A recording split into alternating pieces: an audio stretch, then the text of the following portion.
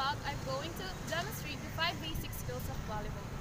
I'm your student, Nurse Rona, and we're going to tackle about the pass, serve, dig, spike, and then do.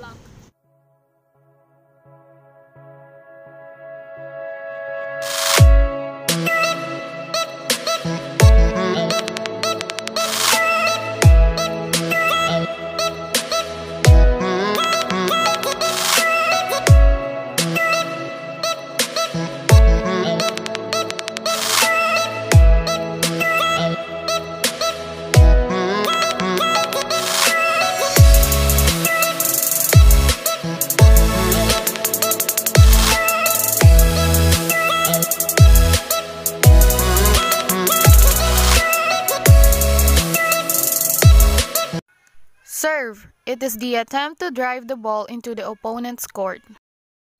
Underhand serve. First, the player needs to hold the ball with their non-dominant hand, drop the ball slightly, and finally hit the ball with their dominant hand. Overhand serve. First, hold the ball with your non-dominant hand, then toss the ball 2 to 3 feet in front of the body and then hit it with a strong and hard surface of the dominant hand. Pass. The ability to prevent the ball from touching one's court by bumping or passing the ball.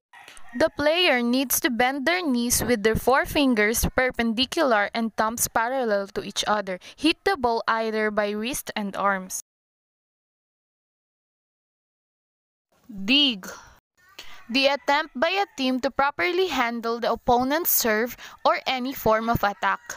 It is the attempt to receive the ball properly with the use of different parts of the body just to save the ball. Spike. An act of scoring the ball over the net into the opposing court effectively and aggressively. Swing hard at the ball and snap your wrist in order to keep the ball in the court. Always follow through with your arm to finish off your hit. Block. An action taken by players by standing or jumping at the front of the net to stop or alter an opponent's act. Bend knees and elbows and hands are raised in front of the face. The player should be ready to run left or right and jump straight with the extended arms and spread fingers.